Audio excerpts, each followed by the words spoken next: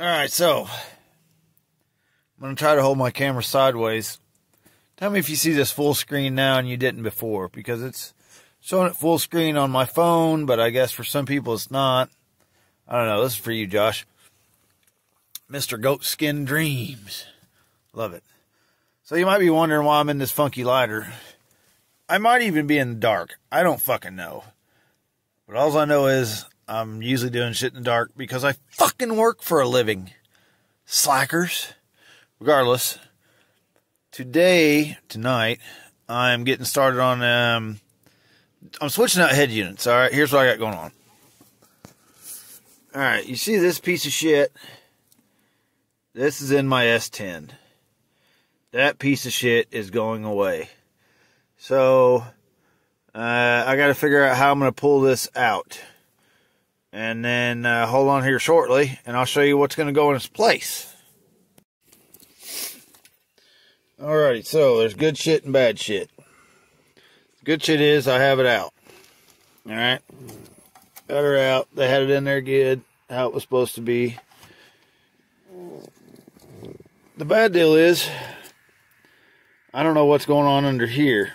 I don't know if, it feels like they actually used butt connectors but I don't know. Also, the head unit does not turn itself off. So that kept running down the battery uh, when I first got this vehicle, and I didn't know what was going on, and I found out, oh, the head unit doesn't shut off. Yeah. So there's some cluster fucking going on here. Also, oh, to get this dash out.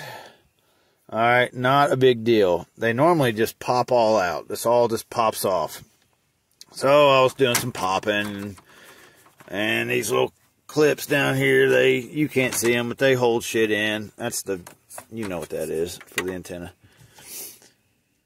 I was getting snagged up down here, so I took a couple screws out, took a screw out up under there.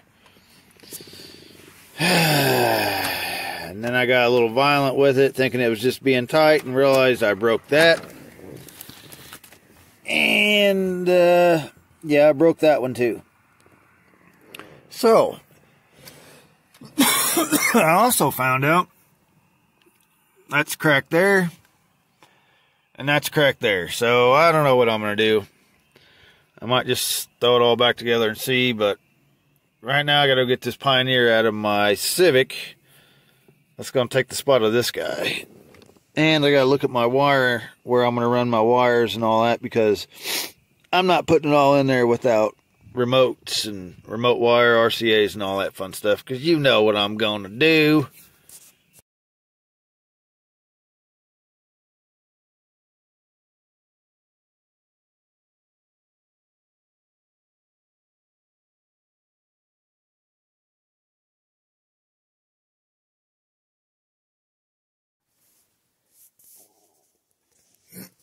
now those pictures I just showed you, I hope I got them added to this video maker deal that I got on my phone here. Um, as I figured, the wiring was pretty fucked up. Um, just electrical tape. Wires twisted together with electrical tape twisted around them. And then more electrical tape. That's just beautiful. Uh, the other picture I put up is how I do wiring. Now, my wiring, I don't do heat shrink. I don't solder. I just use butt connectors. Uh, try to use zip ties. Try to just keep it clean, simple. That's just how I do it. Maybe not the right way. I guarantee there's a hundred thousand people out there that are like, that's not the right fucking way. You didn't heat shrink. Soldering's the best. Blah, blah, blah. Suck on big fat one. Whatever. But uh, anyway, so that's done. Check this head unit out. I love this thing. This right here is my Pioneer. This was in my Civic. This is the, where's my model?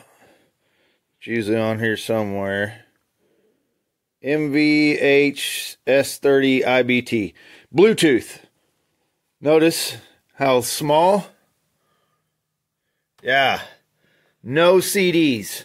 This guy has uh, Bluetooth mainly. That's what it's made for. Also, it has USB there, auxiliary, uh, you know, yada yada. So that's what's going in my truck because I love using Bluetooth. I have Spotify and I just love it. So then I'm thinking, I'm like, holy crap, you know, if I'm going to put this head unit in, I got to get it ready for other audio. And thank God I have audio every motherfucking where. So I've did a little digging. I've got uh, Stinger, Stinger, Stinger. Stinger's my favorite RCAs. Always has been. Uh, got my Stinger RCAs for um, my uh, amplifier which you will see later. Oh man, I can't remember what series these are. I don't know. Can't remember what series those are for some reason. I uh, this is my 6000 series. I think those are the 9000 series. I think these are 6. Uh, regardless, these are going back to my mid amplifier. And then I have my splitters that are going to go into my 4 channel because I don't have enough RCAs coming off the back of that head unit. And then I believe these are, I don't know, 4000 series, something like that. These are actually going to come off, go to my bass knob, which is going to be an LC1, and then go to those guys. So I got remote wires, got me a little care package my buddy hooked me up with a little while back. This just got some miscellaneous stuff, has an LC1 in it, all that.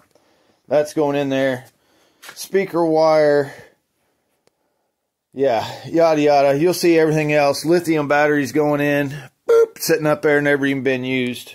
So, yeah, it's nighttime. Again, I got to get this head unit in. This is another night. And I thought, I thought I had some weird smag on there. Uh, regardless, it's uh, been a couple nights. Now I got to go out here in the dark and put this head unit in and get these few wires ran through and hooked up before I go to Stoney's tomorrow, my right hand man who does my installs with me because he's awesome like that. So, yeah, y'all. I forgot also, real quick, before I hide this all, you don't see it. This is how I do. I'm not done with this. This is how I do my uh, wiring harnesses in most of my vehicles. I got to cut that and tape and all that. I only hook up four things power, ground, and my constant there in the middle. And then my subwoofer.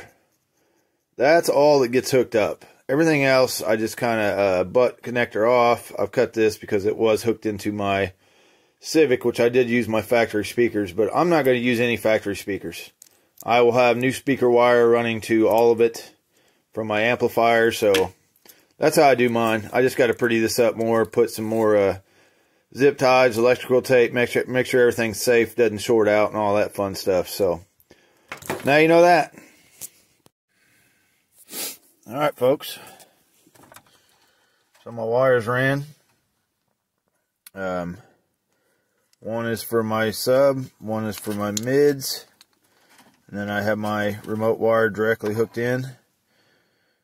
I always electrical tape over everything. These are all butt connected and all that underneath there, but just safely and keep everything tight and all together so nothing gets pulled apart under there. Then I'm going to hook into there, plug in the old wiring harness there, that wiring harness there, and then I got this stupid antenna, which I will probably hardly ever, ever use, but I'll plug it in anyway. Look at it. Look at that shit. So last night in the dark and cold, I get it all put in there. And I just wanted to make sure it would work. And it's not turning on.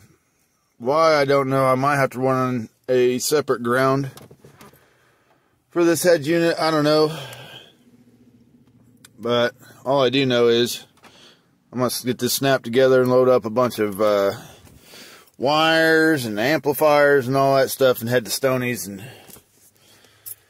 I'll figure this shit out later. So all I can say is stay tuned if you want to see a bunch of shit installed in this Xtreme S10.